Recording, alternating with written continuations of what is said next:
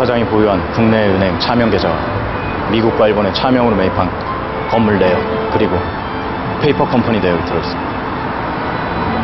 수고했어요. 아닙니다.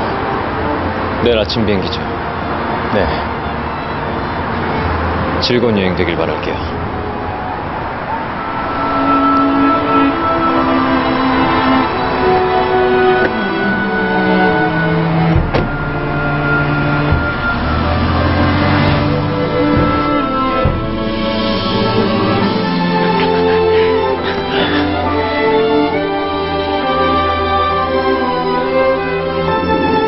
시대였다고.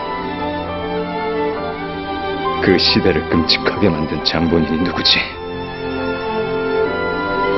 바로 당신 같은 사람들이야.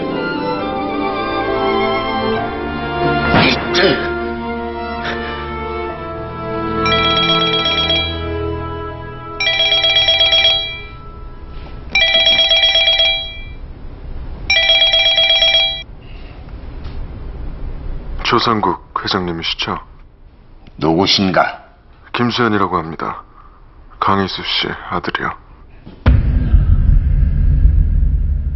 나한테 전화할 일은 없을 것 같은데 회장님과 거래를 할까 해서요. 거래라니 다 아시잖아요. 지금껏 제가 한희수에게 속아왔다는 거. 한희수에게 어떻게 갚아줄 수 있을지 생각하다가 회장님께 전화를 드린 겁니다. 그래서 나하고 무슨 거래를 하겠다는 거지?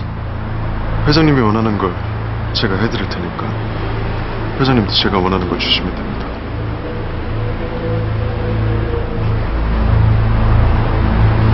내키지 않으면 그만두고요. 내가 원하는 것이라 네, 한이수를 제거할 수 있겠나? 그거면 돼요? 솔직히 난 조검사도 같이 끝내고 싶은데 그게 한이수를 가장 고통스럽게 하는 일이거든요. 배우는 건드리지 마!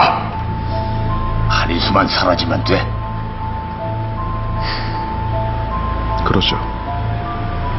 자네가 원하는 게 뭔가? 50억이요.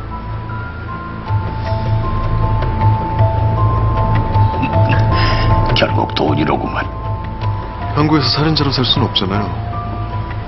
현찰로 5억, 나머진 수표로 최병기를 통해서 보내세요. 최병기를 통해 보내라 아쉽게도 한영만 원님이 죽었고 최병기만이라도 제 손으로 처리해야겠어요. 우리 아버지 인생을 망친 놈이니까. 어차피 회장님도 그 자를 제거할 생각 아니었나요? 최병기도 한희수도 제가 정리해드릴게요. 대신 조건이 있어 한이수가 죽었다는 확실한 증거를 보여줘야 돼 돈은 그 다음이야 그거야 당연하죠. 대신 나중에 딴소리 하시면 안 됩니다. 지금 통화 내용 다 녹음했으니까요. 일 끝내거든. 연락하게.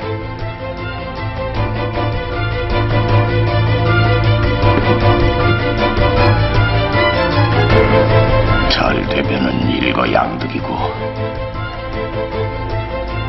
안 돼도 양단수는 되겠구만